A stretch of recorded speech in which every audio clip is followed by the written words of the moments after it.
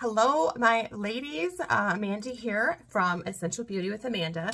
I'm here today to help out some of the new gals. I do these videos, videos a lot, so don't get bogged down. If you want some new content, make a comment, send me a message, let me know what more you want to see. I just did an eye tutorial um, that I'll share with you guys later. Um, so I wanted to share with these new ladies what to do when you first get your makeup. So I'm going to grab myself a palette. I should have been more prepared. I'm never prepared. If you, if you, anybody knows, I wing everything. So don't be dismayed. All right. So you're going to get your beautiful package in the mail and you're going to get your products. So you probably got a palette. Hopefully you got a brush. And if you didn't, I highly recommend it. I've had some girls that get the product and these are really designed to use with a brush. If I just put this on my face to try and blend that out would take forever and you'd have to use a ton of product. The whole key with this product is that it's this tiny tin that you get that lasts for months if you use it correctly. You should not have to go through more than one of these every couple, two, three months. Okay, so you've got your palette, you've got your tins, and you probably have at least four colors and you're going to take your index finger on the top, your thumb on the bottom, and just pull that index finger back. My finger got a little slimy. Just pull it back, just like that, just so easy. Sometimes they lock, but if that happens, um, you can just, just kind of gently pull. So if you feel like it absolutely is not going, some girls will take like a piece of scotch tape or something and pull on the bottom because there's this little, tiny little clasp that we, I think we used to use um, that they've kind of discontinued because it gets tough. Like they're great, but the locking, damned if you do, damned if you don't, right? People would get their packages and these things slide open now. So we're trying to figure out better packaging, but I love these little tins. They're kind of beautiful. I saved them and I made a little project back here. So that'll be fun. All right. So we are going to do a full look with the Cheetah Hack. And I want to take off this makeup so you can see the coverage, okay? I burned myself a couple of days ago dang new curling iron. I did not appreciate the size of this freaking thing. Look at this thing. It's huge. This is like the size of my face and it's hot. I went dunk, literally. Not, I didn't appreciate the size or the weight of it. So I am going to do the cheetah hack and just to keep my hair out of my face because it's wild. I'm just going to pin it back. All right, so we've got here your tin, your compact. Take that, open it up, slide it open, and just set it in your, your tin, right? It's magnetic, so it's going to stay in there automatically for you. And just line them up. Um, if this is backwards, I apologize, but I usually do my lightest, my um, second lightest, and then my darkest color um, and then a lip and cheek color. So you'll have like your highlight, your brightening highlight, your main color, your contour, and then a, a cheek color. If you've got the 12, which I always recommend the 12, because you can put your um, da, da, da, blush bronzer and a second lip cheek if you want it. And you can rearrange this however it works for you. I personally use a 27, which is a little bit bigger. Um, because I'm a little bit extra. I actually use two main highlights. Um, I use a combination between Sandy and Mango for myself. So I will show you that here. So biggest mistake, easiest thing you can do is use too much product. And that's like the wildest thing. Like no, most people are like, oh, I have to use more to get better coverage. Well, no, you have to have the right colors to get the right coverage. And we have to use the right amount of product for you to look and feel like that natural second skin. So here's my palette. I have my brightening highlight, and these are my two main shades. I've got a variety of lip cheek colors, and then I have my bronzer, and illuminator, and this is my contour. This is the 27, so however it fits to work you, it's kind of fun to play it around, play around and rearrange it.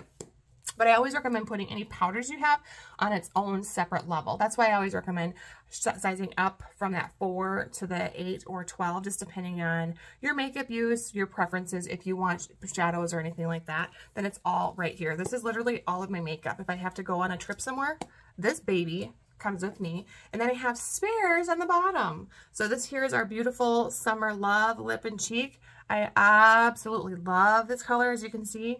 Um, I didn't touch it until last week. And I am just going through it. I ordered a few for myself, and I've ordered some extras, and I just can't get enough of it. So I'm sorry if this video is outdated by the time you watch it, but that's what it is. So I just have spares. It's just fun stuff that I like to have here get wild. All right, down to business. I'm going to take my fingers. I have a little bit of lip cheek. I'm just going to wipe that off.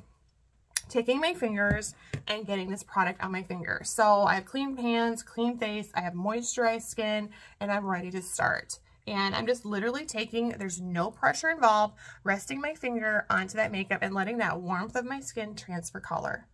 That's it. You should never have to dig and get that much product. If you do, it's going to be like several spots throughout your face. I'm telling you. So I, like I said, I used two main colors. So I did Sandy first. I'm going to do a touch of Mango and just kind of put that next to it. You, if you don't use two colors, you're fine. You don't have to. But just with, um, I went to Mexico, I got a lot browner than I normally do. And Sandy just wasn't cutting it for me. I needed a little bit more warmth. So when I tell you to touch your finger and transfer that color, it's literally like your fingerprint. You're going to see your fingerprint. I'll do that with this other color so you can see. That's it. So you can see a little bit of that texture because I melted this down at one point. And that's it. Here's another color so you can see that. That's too much even. Can you believe it? That's too much. I'm going to do this lighter because it's a little bit warm in this room. You can see my fingerprint. You see that? That's how much product. And this is going to be your brightening highlight. And it's going to go in one area. And you can see how much more concentrated it is when it goes on my face and how um, I'm only doing it into an area.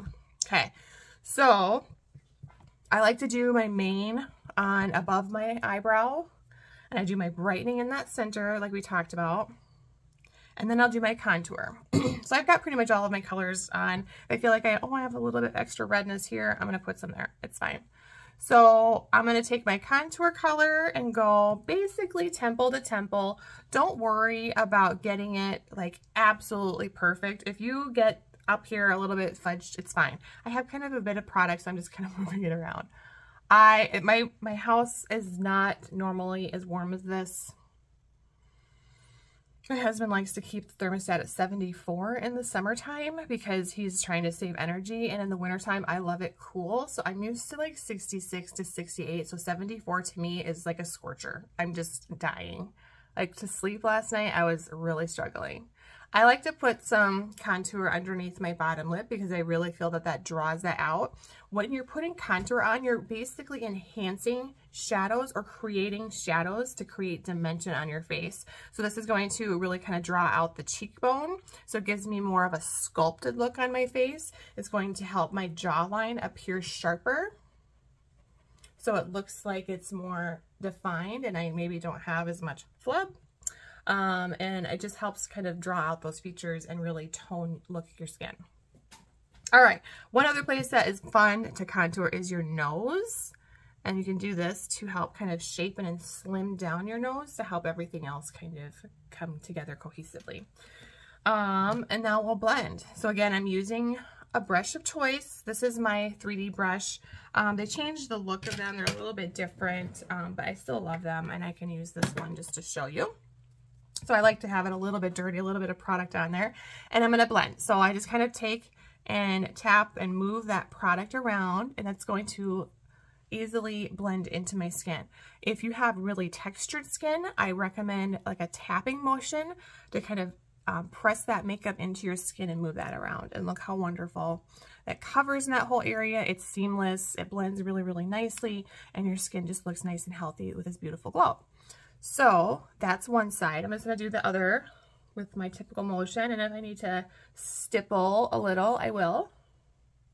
And there we have it, okay? I always start with the lightest colors first. I save my contour basically for last. And I'll even um, put my lip cheek color on at the very end for my cheek color. And I just kind of fan that out in the center. I already did my eyebrows, so I'm just kind of being mindful of working around them and blending those colors together. Jawline, bring it all the way up to your ear. And if you feel like you need just a touch more coverage, then just grab, when you go directly into your product with your brush, I cannot stress this enough, press and transfer that little bit of skin because that is all you need, my friends. And I'm just kind of following the shapes that I'm creating. I like to kind of go up whatever I'm going on my face, that's going to help lift and tone and look of that skin. If you have lots of fluid in your skin, um, swelling, edema, lifting it up is going to help draw that out. So as you can see here, I've got my beautiful little friend, the um, burn marks from the other day. I'm just going directly into my color and going to go over that. And that's going to help kind of neutralize it. And you can barely see it. I'm not too worried about it. It's still fresh. I'm not going to go wild on it. All right, so there we go. Contour, last thing. All I'll do is just kind of blur out that line, soften it out, and then on my cheekbones, I kind of flip it up so it raises and lifts. If you feel like you need to clean it up a little bit with some other color, I'll show you that. And then my neck or jawline, I soften that out and then I bring it down. Starting underneath my ear, bringing it straight down, so it kind of creates that tone, and then underneath. And bring it into your neck. So you should not have any defined line. Same thing over here. And you don't need much. You do not need very much at all. I This is probably one of my original contour. I do not use very much product at all when I use it. Um, and I do my makeup just about every single day. Okay. And then forehead, same thing. Temple to temple, I just kind of run, around, run along that color and pick that up. I'll first bring it into my hairline to kind of sweep that in. There is no makeup line. And then I'm going to take it and just kind of make like a rainbow shape where I'm softening, but I'm going up a little bit higher to bring that. So this brightness is still there. So I'm just kind of softening that line. There's no rough edge. And now I'm going to bring that brightened color into that contour. My nose is one of the last things. I'm just kind of stippling or pressing to soften that. And then I just tap on the top to kind of soften that brightening color. It does not look like I have color. It's just bringing out the light and the shape of my face. Last step, this Perfector sponge is absolutely key, especially if you worry about having too much product. It's wet. I've wet it out. There's no water in it. I've squeezed out all the water into a washcloth even, so all it does is feel cool and a little bit damp on my skin. Just balancing that will help pick up any excess. It will remove any out of your fine lines that you might have around your eyes, especially. You can get right up in there and just bounce and grab that. I usually have like problems with dead skin here where I need to exfoliate better. Um, and this will help pick that up off of there. Chin where I have a little crease there. All the way up. Beautiful. If you feel like you need to get into your neckline, go for it. Okay, and that's it. All that excess product off. Um, now I'm going to put on my lip cheek color and I am going to do Tropicana because it's gorgeous in the summer. Just a very light peachy color. Very simple. It's kind of like a, it's a, I think it's a gloss. Um, it's buildable, so if you want more of that orangey peachy to come through, you can keep building. And then I'm going to do my bronzer. There we go. Bronzer is key to life. It just helps me get through every day, I believe. And it kind of brings everything together. All of these steps are not necessary, but um, if you want to build up your um, collection, this is a great, great tool to have in your box. Um, I love the, the uh, blush bronzer collection and you can get this this blush bronzer brush. It's actually this style now, the white, which is gorgeous. And I mean, it is white, but it does get clean. This is not a clean brush. This is a clean brush. I have so many brushes. Um, so just to show the difference, like I've cleaned this brush and this one I've not. Um, so, okay. So I take the big end of that nice and floofy and I go and I kind of just jam in some of that color and just dust it onto the outer parts of my forehead and just kind of blends it super easily down my jaw, down my neck. And it just kind of warms you up a little bit brings it all together. If you feel like you need a little on your chin or your nose, have at it. All right, and that's Bella bronzer that I used. I had this Bella bronzer forever. The best thing in the world. All right, so that's that. So I hope you guys um, love it. And if you have questions, want some troubleshooting tips, let me know. I am always here for you. I will upload this to my YouTube channel as well. So playback anytime, um, and it's there for you. So you guys have a fantastic day. Take care.